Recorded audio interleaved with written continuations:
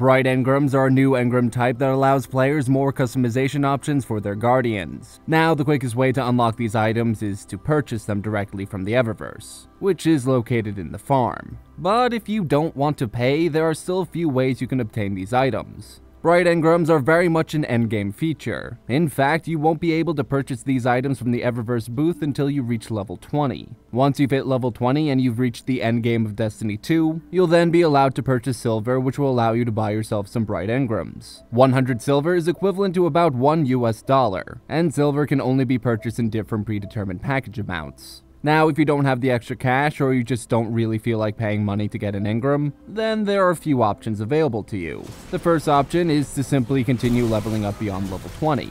Unlike the first Destiny game, where the players were rewarded with Motes of Light, players will actually earn a Bright Engram in Destiny 2. This means every time you reach a new level, you'll be rewarded with a Bright Engram. You can use this to your advantage by replaying strikes, missions, and even things like the Nightfall.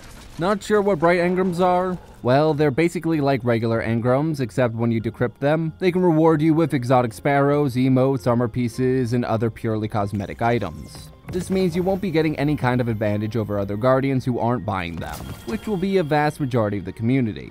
And that's it for the video. If you enjoyed what you saw, be sure to like and subscribe. Check back every weekday for another Prima 365, and for more content like this, be sure to head over to primagames.com.